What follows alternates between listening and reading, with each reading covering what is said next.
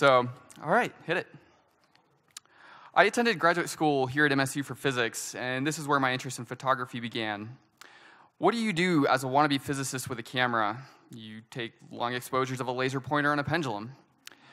After seeing a postcard of the Milky Way over Glacier National Park that had all these fake, weird star spikes on it, I thought I can do better than that, and that is where my journey into night photography began.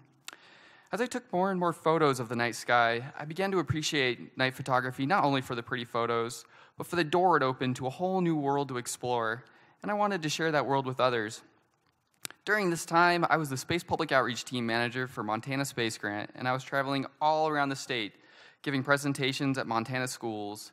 These presentations were a wonderful opportunity to incorporate my photography into our discussions of the night sky, and they inspired some amazing questions from the students, such as How many times have I been to space?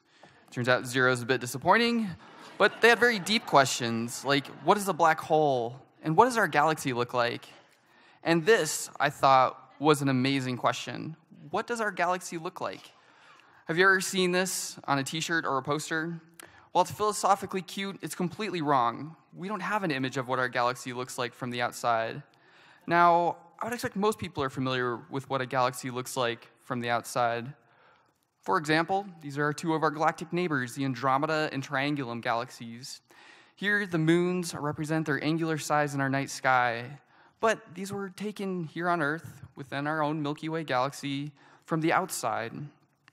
So, the question, what does our galaxy look like, ended up, as my lovely wife can attest, becoming an obsession of mine. Searching for new ways to explore our earthbound connection with our Milky Way using my love of photography. So, how do you start this search? I had a camera, I had a lens, and I started by driving up to Hyalite, fumbling with my camera clumsily in the dark, and as I became better acquainted with photographing the night skies, I started probing Google Maps, looking for interesting foregrounds which would match up perfectly with the orientation of the Milky Way for a given night and for a given season.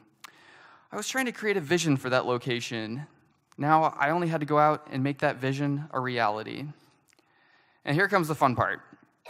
Interesting locations are found off the beaten path, and hiking in the dark is rather nerve wracking. But when clear, clear skies prevailed, I ventured out into the darkness, guided only by a flashlight, where everything put your hair on, your hair on end. Glowing eyes peer back at you from afar, as if wondering what sort of obnoxious creature would be stumbling through the night, while I, on the other hand, just hope that those are not the eyes of a grizzly bear. But I make it. Now it's time to make that vision a reality and point this camera towards the heavens. And after hours and hours, and sometimes days of processing at home, this new world begins to unfold. And this, this is what I love about night photography of our skies. While our eyes are limited to the amount of light they can collect and process, cameras are not. And by combining landscape photography with astrophotography techniques, our skies become alive and reveal the night like never before. And the best part is, you never know what you might capture and what you can learn from it. Why is it that you can see the faint outline of an outstretched hand on the darkest night? Well, it turns out night isn't so dark after all. Our nights are blaze with a phenomenon known as air glow, captured here in a brilliant green, gently waving across the sky. On a given night, we can see around 3,000 stars with our unaided eyes, and we use these to create the constellations we're familiar with. Here, we find within the constellation Sagittarius the asterism known as the teapot. Off the spout of the teapot, the Milky Way steams out. And what does the teapot pour into? The center of our Milky Way galaxy. Here, some 25,000 light years away, lies our supermassive black hole, hidden behind a veil of dust and gas and stars, which we're all orbiting as we speak. Just above sits the Lagoon Nebula, a stellar nursery giving birth to new stars and energizing the surrounding hydrogen gas and it glows so brightly you can see it with your unaided eye on a dark night.